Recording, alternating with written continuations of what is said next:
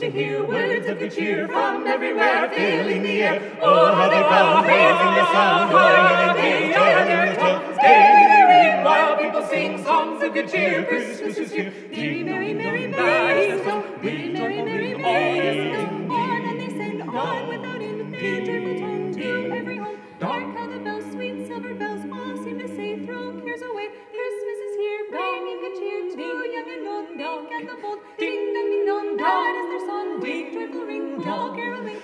Seems to hear words of good cheer from everywhere, filling the air. Oh, how they bow, raising the sound, in and telling the tale. Gaily they ring, while people sing songs of good cheer. Christmas is here. Is the is the song. song. Ring, joyful ring, all caroling. On and they send on without end, their joyful tone to every home. On they send on without end their joyful tone to every home.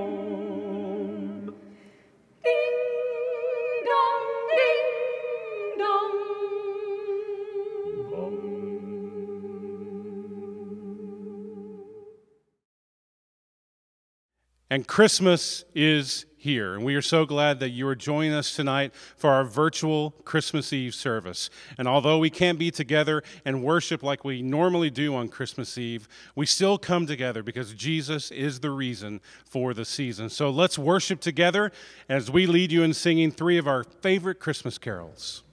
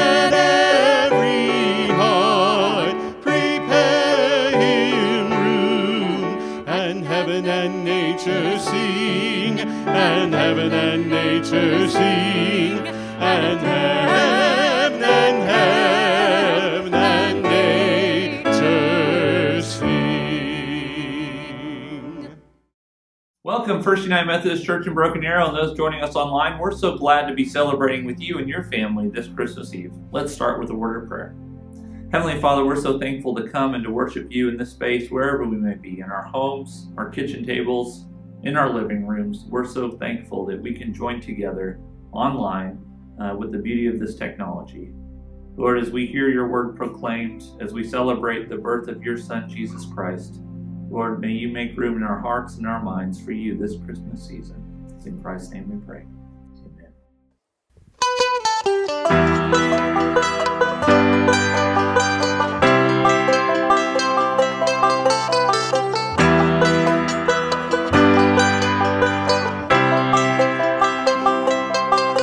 God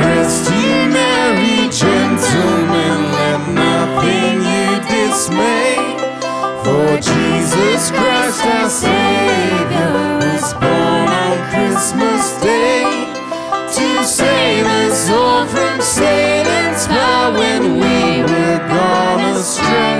Oh,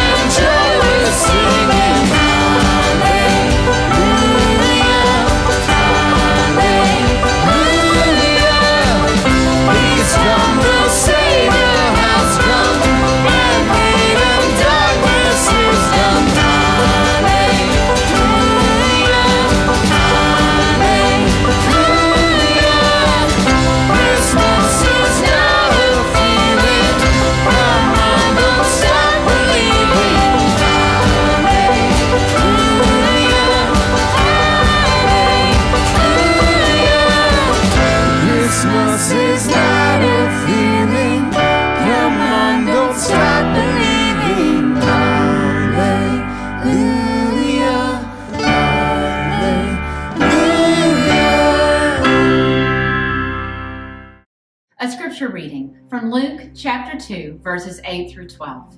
And there were shepherds living out in the fields nearby, keeping watch over their flocks at night. An angel of the Lord appeared to them, and the glory of the Lord shone around them, and they were terrified. But the angel said to them, Do not be afraid. I bring you good news that will cause great joy for all the people. Today, in the town of David, a Savior has been born to you. He is the Messiah, the Lord. There will be a sign to you. You will find a baby wrapped in cloths and lying in a manger.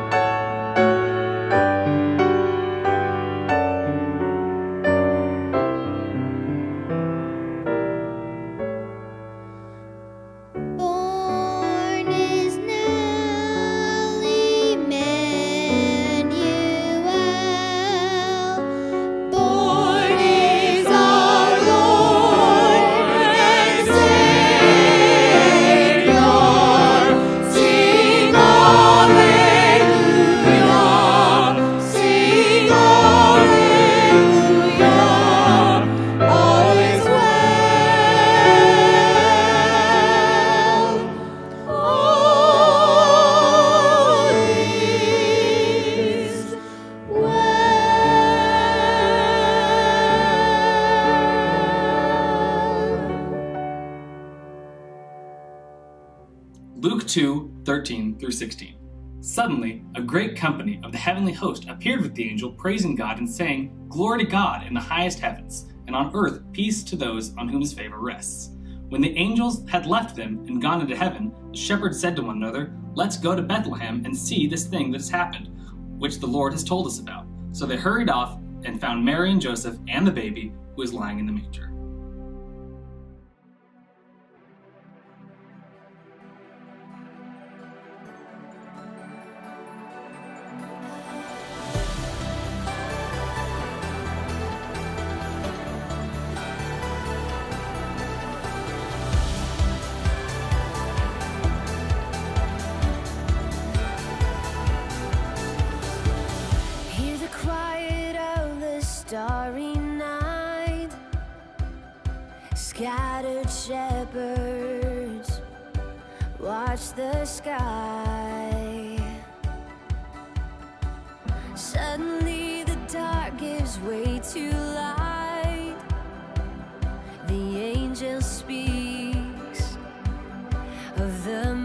Messiah.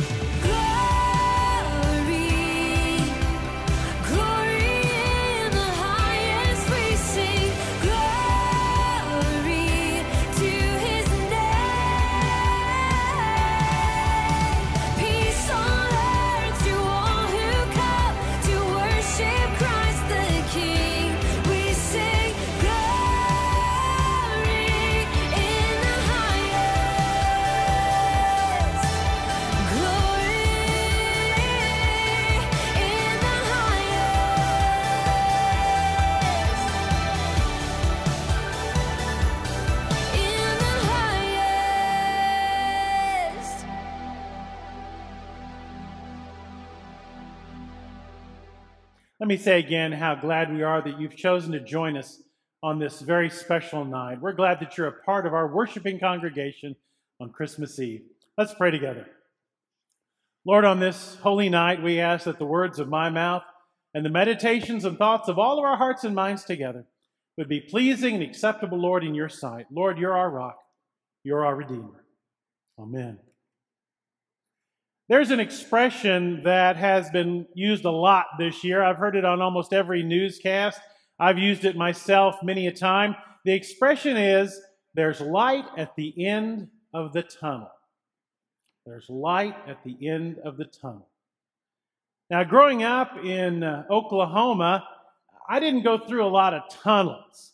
Uh, if I did, I could always see the light at the other end because the tunnel was maybe 10 feet long. You know, going under an overpass or something like that. So the expression didn't really have a lot of impact for me growing up. Then, about, oh, 25 years ago, my wife Janine and I decided that we would try skiing. Now, she had done it a couple of times when she was younger. I'd never gone, but we decided to go to Colorado and go skiing. So we drove to Colorado, we got to Denver, and then we drove the road that leads from Denver up into the mountains, up to Breckenridge. And as you're driving from Denver to Breckenridge, you go through a tunnel that's called the Eisenhower Tunnel. And this is a tunnel that goes through the mountain that is almost two miles long. It's one of the longest tunnels in North America. And I didn't realize how long it was, and we're it's in the middle of the day, and we're driving, and we enter this tunnel, and it suddenly becomes as dark as night with a few lights above, and it went on and on and on. And for an Okie like me, I thought, how long does this tunnel go? And it just kept turning and going, and it felt like forever. Now, in reality, it was about two miles, so it probably took, you know, under five minutes for us to go through that two mile tunnel. But it felt like such a long time, and there was a sense of relief when I could see the light at the end of the tunnel. And maybe I understood finally that expression there's light at the end of the tunnel. Now, we've been saying that expression a lot over the last almost 10 months because we feel like we've been in a dark tunnel and we're longing for that light at the end of this dark tunnel that's called a pandemic, that's called COVID 19. And as we've journeyed on and on, and month after month, we keep saying, there's got to be some light at the end of that tunnel. And we've grown frustrated and we've grown tired and anxious and weary. And of course, here lately, we've had a glimmer of light as vaccines have started to be now distributed and, uh, and are being put into people's arms. And we think, well, all right, this is the beginning of the end because we want to get to the end of this tunnel. We want to see the light.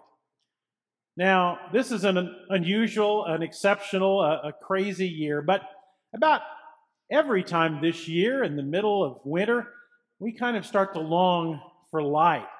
We are near the winter solstice, and today, Christmas Eve, I looked it up, there's only about 10 hours of daylight today, December 24th. Christmas Eve. And let me tell you a little secret, not to, not to blow your mind, but we don't actually know that tomorrow, December 25th, is the day that Jesus was born. You read the Bible, if you read the accounts of Jesus' birth, there's no dates there. It doesn't say on December the 25th this happened. We don't, we don't know the day of Jesus' birth.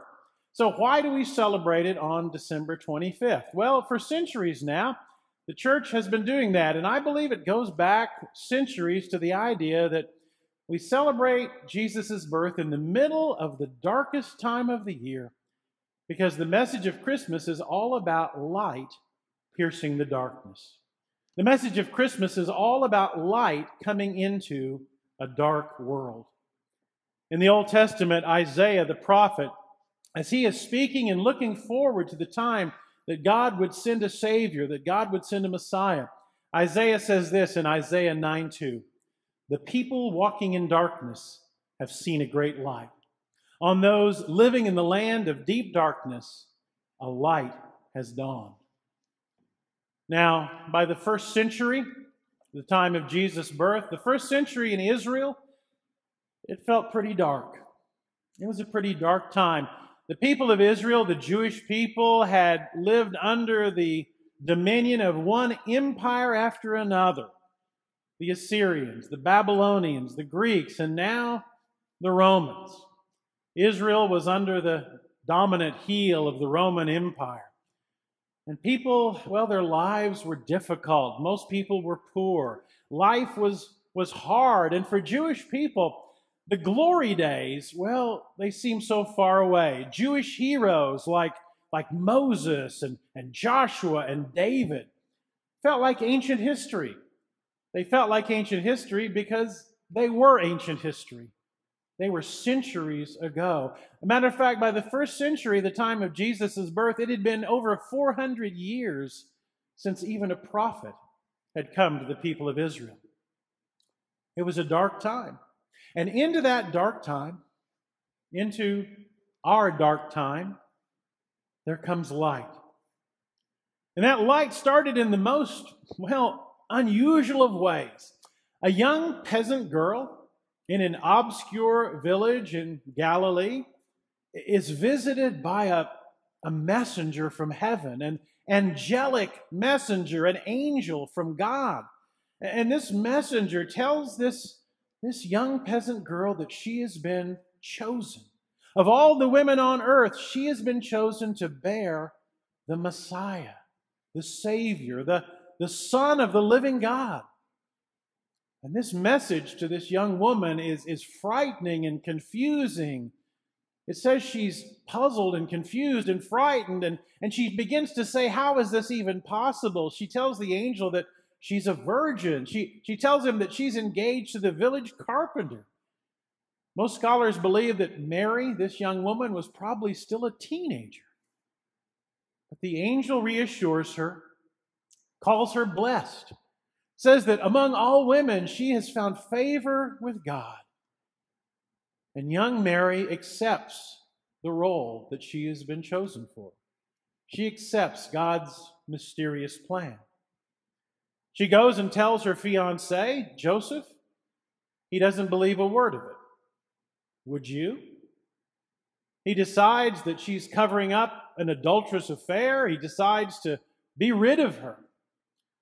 But an angel visits Joseph as well and tells him that every word Mary has told him is true.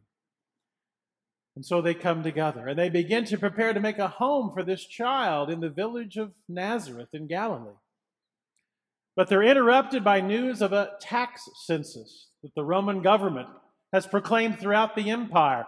And Joseph, being a descendant of the great King David, must go to his home country, his home territory, to register for this census. Joseph's family is from the south, from a little village called Bethlehem. Bethlehem was known primarily as the birthplace of the great King David. If, if they'd had signs in those days like we have today, it would have said, You're now entering Bethlehem, home of David.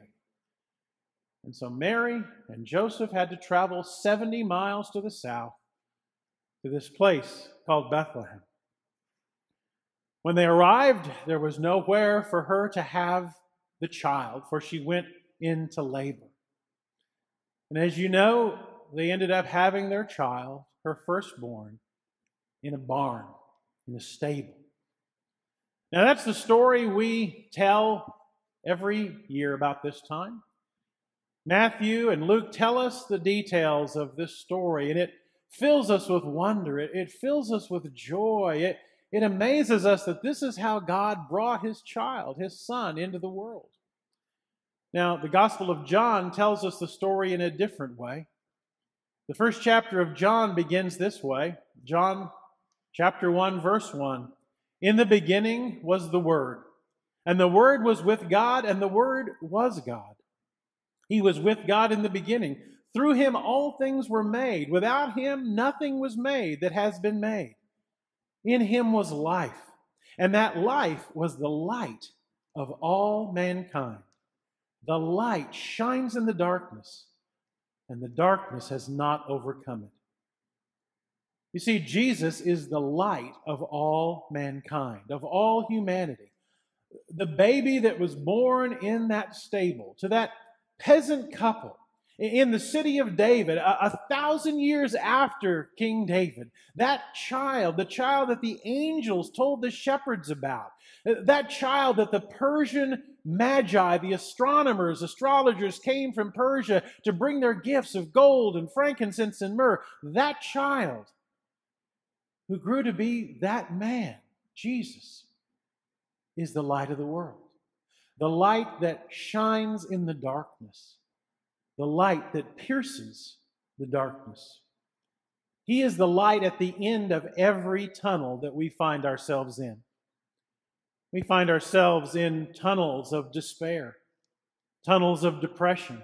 Sometimes we dig the tunnels ourselves. We dig a tunnel of, of sin and rebellion, and we walk in the dark, and we long for light. We long for hope and joy and peace and love. And Jesus is the light at the end of those tunnels. Jesus pierces the darkness. Some of you remember a story that was in the news a couple of years ago, June 23rd, 2018. A youth soccer team in Thailand. 12 boys ages 11 to 16 and their 25 year old assistant coach. They went exploring in a cave in Thailand. But shortly after they went into the cave, there was a torrential rainstorm. It flooded the cave, blocking any way out or in. And the boys and the coach were left, well, prisoners, stranded in darkness with little food and water, with flashlights that burned out quickly. And for the first week in that cave, the rains continued so horrendously that no rescue effort could even be attempted. No contact with the boys or the coach could be made. For the first week, there was no hope. The rains finally stopped, and as the boys huddled in the cave on a shelf above the waters, outside the cave, an international effort was coming together to rescue these boys. An international effort that eventually involved almost 10,000 people from 18 different countries. After a little over two weeks in the cave, two weeks in the dark, specially trained divers went in to rescue those boys. And all the boys and the coach were rescued. But one of the divers, Saman Kunan, a 37 year old former Thai Navy SEAL, died in the attempt, drowned, saving the boys. He died to rescue them. He died to deliver them from the darkness. He died to deliver them from the floodwaters. He died to deliver them from death. 2,000 years before that, in the Middle East, a child was born in a stable. The child grew up in this small village in Galilee. The man that he became then spent three years wandering and traveling and teaching and preaching and healing and doing miraculous things. And when he was 33 years old, he was executed. Executed by the Roman government at the urging of the Jewish religious authorities who saw him as a threat to their power and control. He laid down his life to pierce the darkness. He laid down his life to rescue us from the tunnel of dark sin. And today, he delivers us. He delivers us from the power of sin and the power of death. Jesus, the baby born in Bethlehem, the man who died on the cross, the man who rose again on the third day, he is the light, the light of all mankind. He is the light at the end of the tunnel, the light at the end of the tunnel of sin and despair. This night, this special night, this holy night, we celebrate that light. We celebrate the light of hope and peace and joy and love. We celebrate the light of Christ. For the light shines in the darkness, and the darkness has not overcome it. Would you pray with me? Precious Lord, on this special night, we praise you. We thank you for bringing light into the darkness, for rescuing us, for helping us to be able to live in the light, the light of love and peace and joy and hope, the light of Jesus Christ, in whose name we pray. Amen.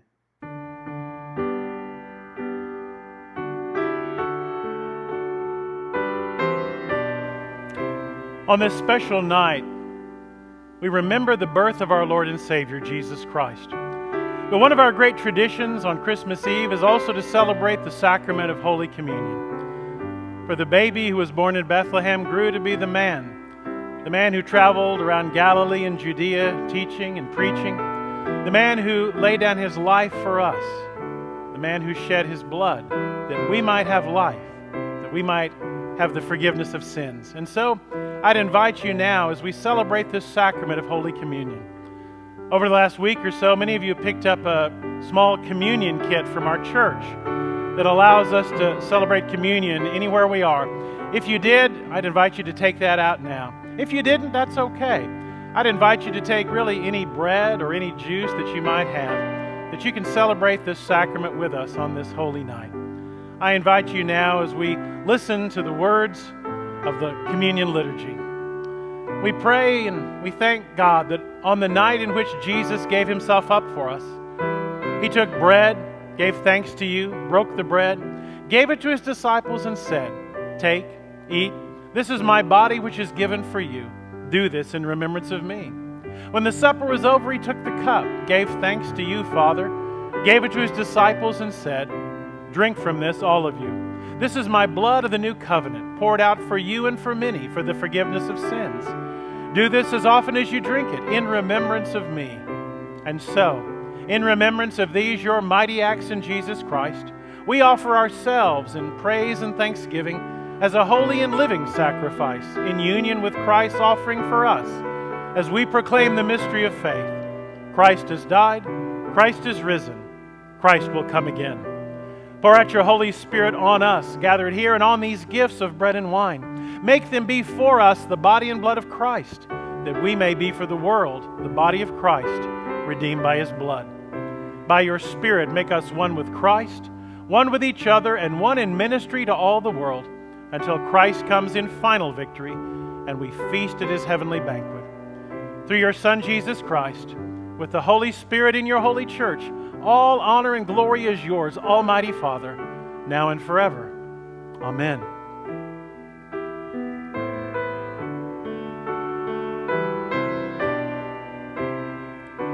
The gifts of God for the people of God. Thanks be to God.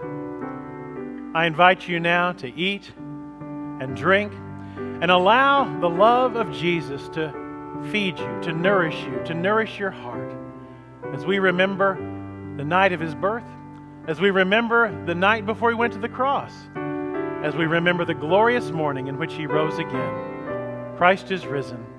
Thanks be to God. Amen.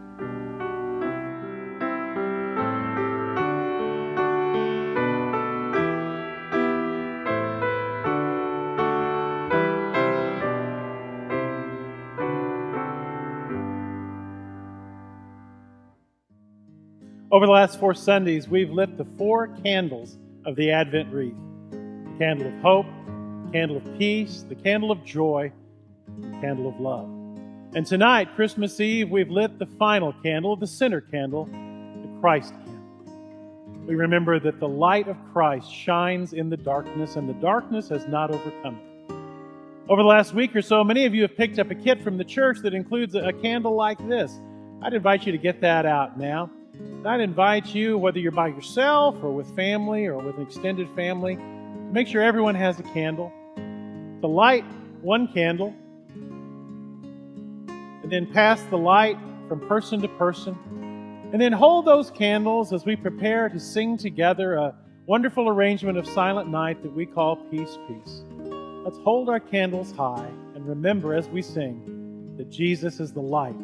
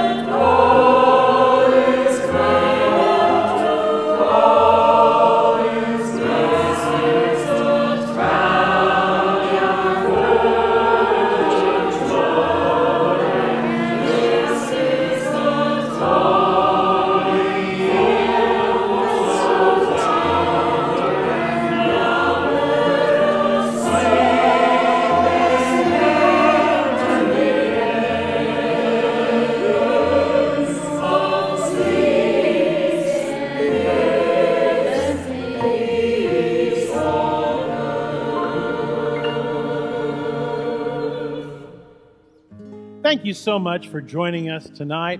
We're so glad that you were part of this Christmas Eve celebration. Have a wonderful day tomorrow. God bless you. Merry Christmas.